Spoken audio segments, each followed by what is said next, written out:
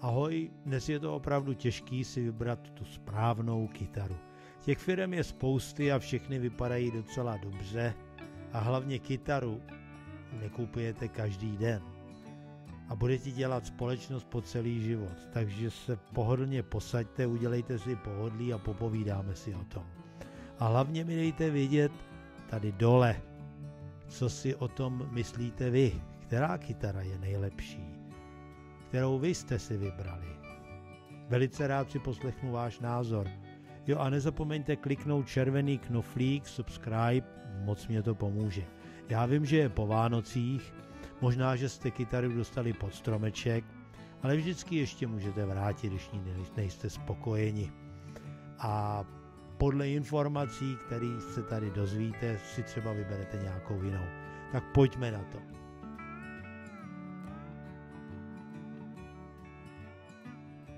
Výběr akustické kytary závisí na různých faktorech, včetně rozpočtu, stylu hry hraní. Eh, zde je několik obecných typů, které vám pomohou při rozhodování. Tak eh, začněme mm, s položkou rozpočet. Určete si, kolik chcete za kytaru utratit, protože eh, to spektrum cen kytar je obrovský. Tam můžete jít do až neuvěřitelně vysokých položek. A to ještě, když koupíte tu nejdražší kytaru, tak to ještě neznamená, eh, že je nejlepší. Kolikrát můžete koupit eh, i lacenější kytaru a může mít velmi dobrý parametry.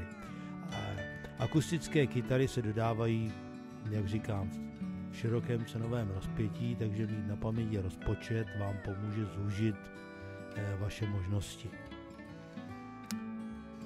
Eh, další položkou může být dřevo. Druh dřeva použité na horní ozvučnou desku. Eh, dále je to druh dřeva na zadní stranu a boky. Samozřejmě ovlivňuje velice tón, zvuk kytary. Mezi běžně tónové dřevo patří smrk, cedr, mahagon a růžové dřevo, rosewood. Eh, smrk je známý pro svůj jasný a artikulovaný zvuk, zatímco cedr bývá teplejší a tmavší a tak dále a tak dále. O tom si pohovoříme později. Eh, další položkou je hratelnost. Eh, zkontrolujte akci, výšku strun nad hmatníkem. Samozřejmě nižší akce eh, je obecně jednodušší pro prsty, pro techniku, podstatně snadněji hm, se mačkají akordy a, a ovládá se speciálně pro začátečníky. Eh, zvažte profil a šířku krku, což je taky samozřejmě velice důležitý. Když si vezmete tu kytaru do ruky, tak vám takzvaně musí sednout to cítíte sami, záleží na velikosti vaší ruky, abyste krásně dokázali ovládnout ten hmatník. Eh, potom další položkou bude značka a eh, pověst. Eh, zavedené značky jsou Martin, Taylor, Gibson, Yamaha.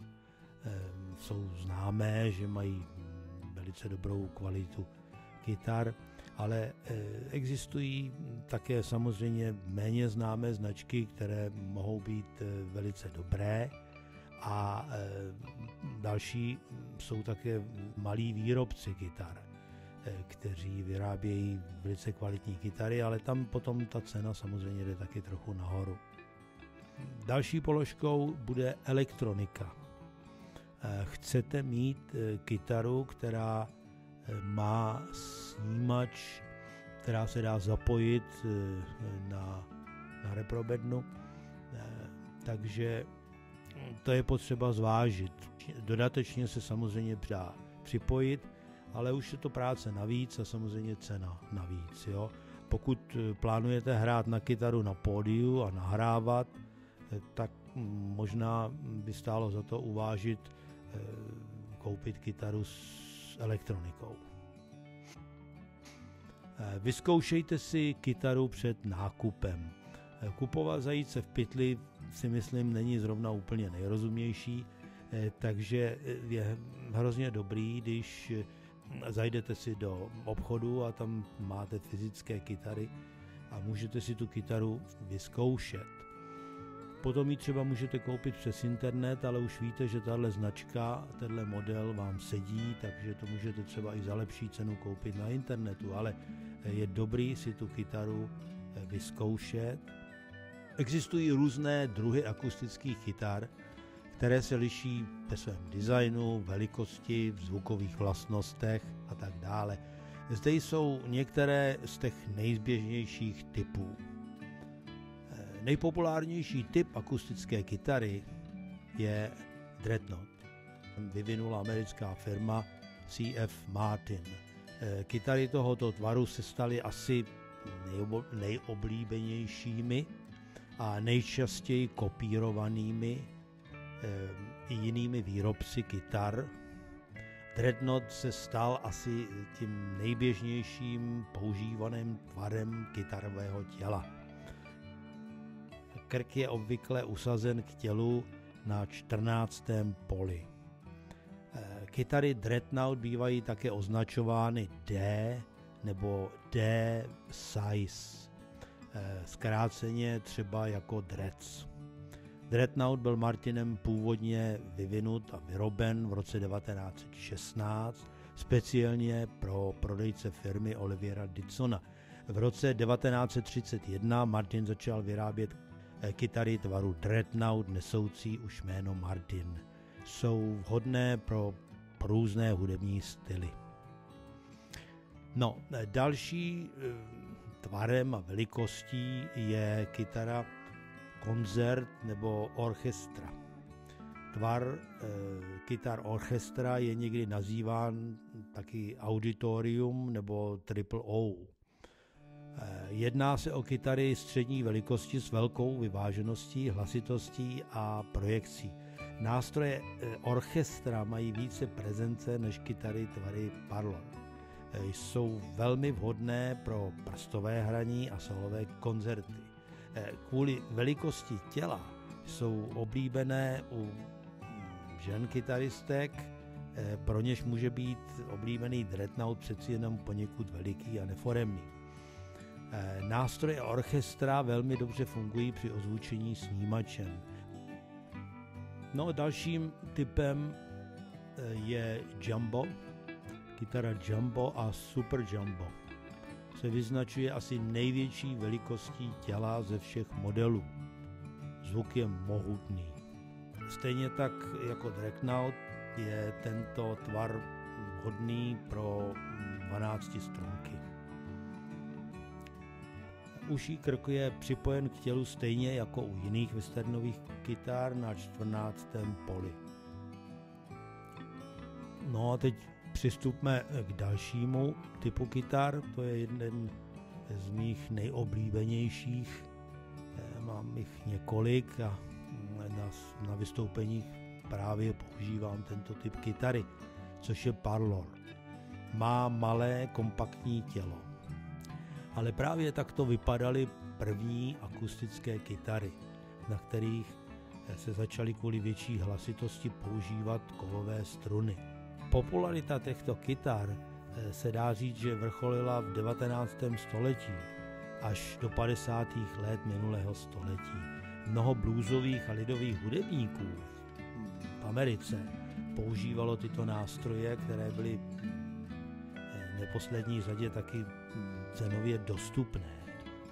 Eh, v dnešní době se tyto salonní nástroje těší, dá se říct, renesanci a oblibě mezi hráči Další položkou je travel kytara, nebo se taky říká mini, eh, které jsou navrženy pro pohodlné cestování vzhledem ke své velikosti.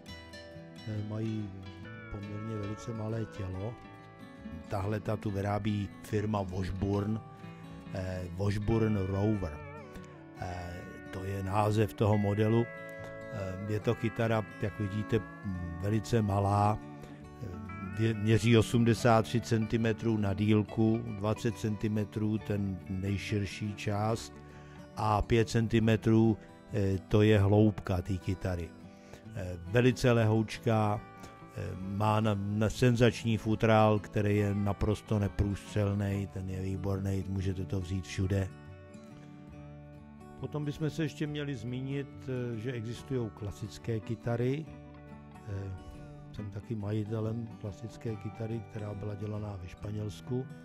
Samozřejmě záleží na vás, pokud se chcete věnovat klasické muzice, tak samozřejmě musíte koupit klasickou kytaru.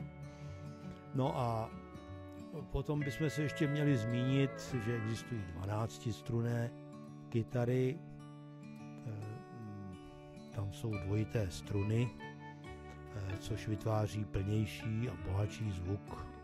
Jo. Eh, často se používají pro akustické verze rokových a folklorních písní.